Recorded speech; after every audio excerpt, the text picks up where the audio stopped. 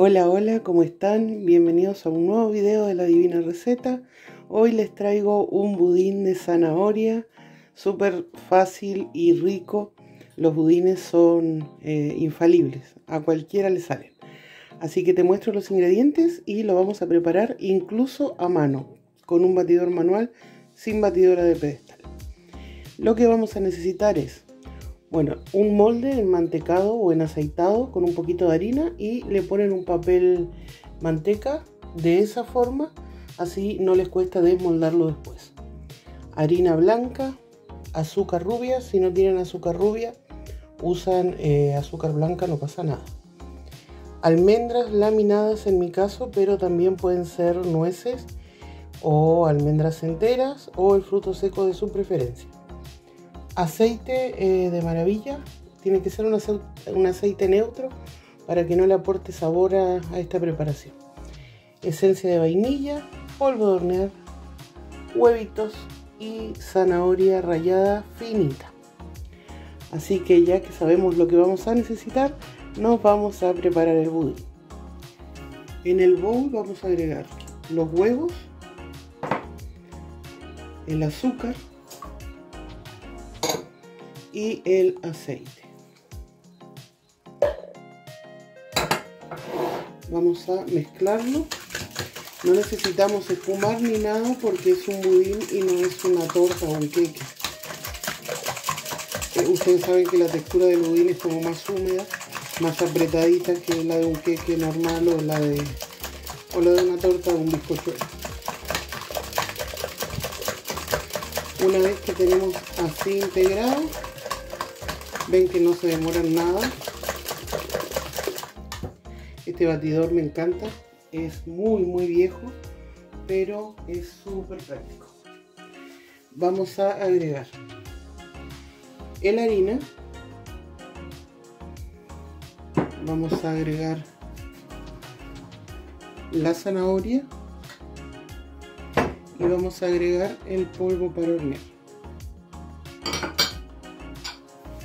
voy a sacar todo de aquí porque los ingredientes, o sea, donde estaban los ingredientes como que va a estorbar. Integramos despacito para que la harina no huele para todas partes.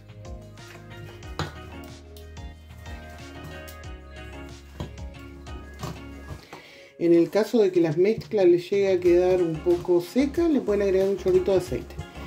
Eso depende del tamaño de los huevos, porque hay huevos de distintos tamaños. no tiene más explicación que esa. Le damos movimientos envolventes para aportarle un poco de aire a la masa, que es de arriba hacia abajo, para que le entre airecito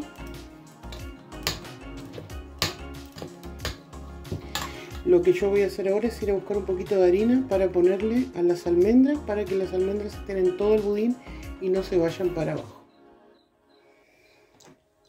Le puse harina a las almendras y se alcanzan a ver en cámara ya la mezcla tiene burbujas, así que estamos re bien. Vamos a poner las almendras o las nueces, el fruto seco que ustedes vayan a usar y la esencia de vainilla integramos.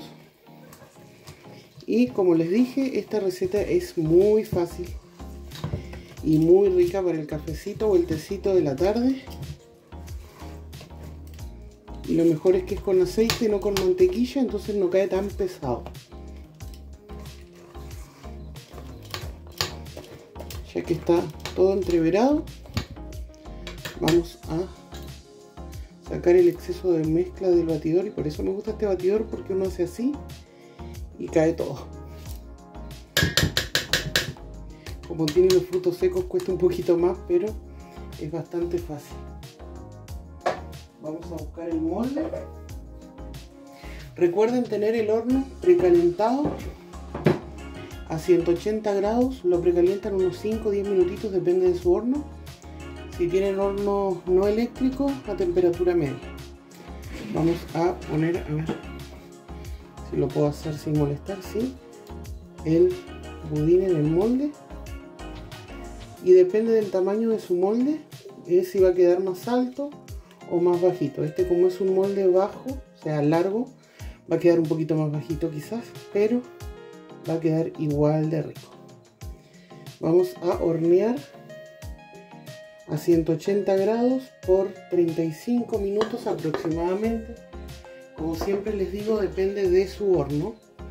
Así que lo llevamos a horno. Nos vemos en 35 minutos y mientras esto se hornea, vamos a preparar un rico, rico, rico betún, frosting, como quieran llamarle, para ponerle por encima.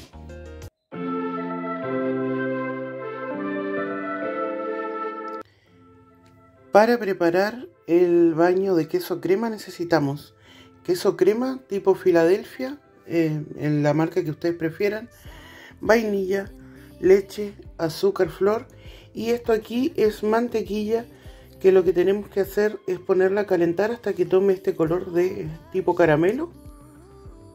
Esta es la forma de la mantequilla que necesitamos. Así que vamos a agregar todo a donde está el queso crema. A poner el azúcar flor también. La vainilla.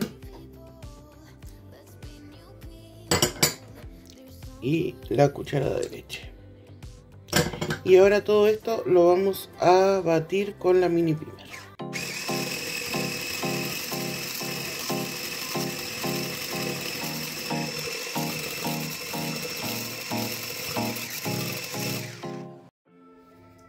Con esta textura nos quedan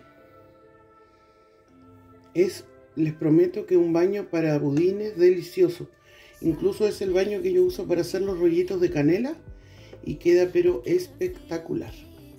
Así que ahora vamos a esperar que salga el budín del horno para colocarse. Pasaron los 35 minutos, así que ponemos un cuchillo y si sale seco es porque está listo. Así que vamos a apagar el horno y dejar enfriar nuestro budín para ponerle por encima el frosting, betún, como quieran llamarle. Ya se enfrió el budín, pasaron un par de horas ¿Ven qué fácil que es de desmodarlo? Solamente levantamos en los costaditos y está listo. Se despega con mucha facilidad al estar frío. Miren cómo queda por abajo. De su color perfecto. Lo ponemos sobre un plato, sobre una bandeja. retiramos esto que ya no lo necesitamos, el molde. Y miren qué bonito que queda. Ahora solo falta que le pongamos el baño de queso crema que preparamos mientras se horneaba.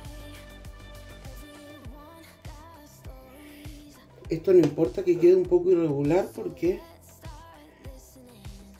es lo rico, no lo bonito. Igual queda bonito, no sé si a ustedes les pasa, pero a mí me gusta cuando veo esas tortas que están decoradas como de forma más rústica, más casera. Siento que les da otro valor.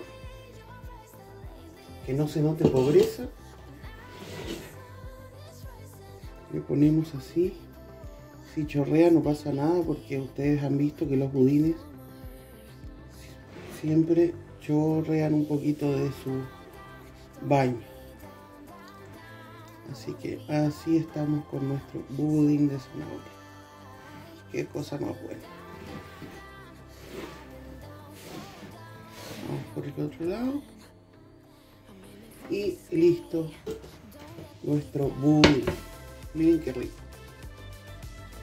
Me encanta. Así que ahora vamos a cortar un pedacito para ver si nos quedó bueno por dentro o es todo un desastre. Volvemos cuando tenga el cuchillo en la mano. Vamos a cortarlo.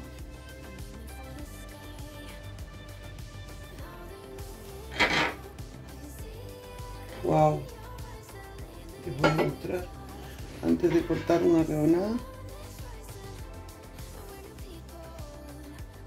Se nota la humedad. Vamos a cortar una rebanada.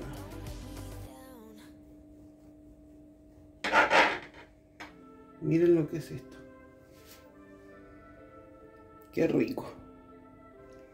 La verdad que es una receta perfecta para hacer sobre todo ahora que se viene la Navidad y que todos que tenemos que ir a la casa de alguien, eh, etcétera, etcétera, que invitamos a alguien a la casa a compartir un cafecito. Es una receta rica, fresquita de verano además, porque tiene la zanahoria, las almendras. Así que espero que la puedan preparar. Eh, es un 7 esta receta. Funciona sí o sí. Son ingredientes básicos que casi todos tenemos en la casa. Así que si te gustó, espero que la puedas preparar. Mira qué rico. Maravilloso. Así que nos vemos en un siguiente episodio. Te quiero mucho, mucho, mucho. Y chau, chau.